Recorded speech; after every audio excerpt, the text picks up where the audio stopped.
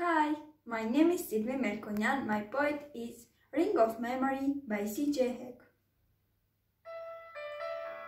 She found his ring the other day where she had put it, safe away.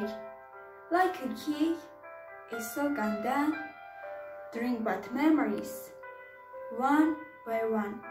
With his ring, the preacher read, Promises given, vows were said.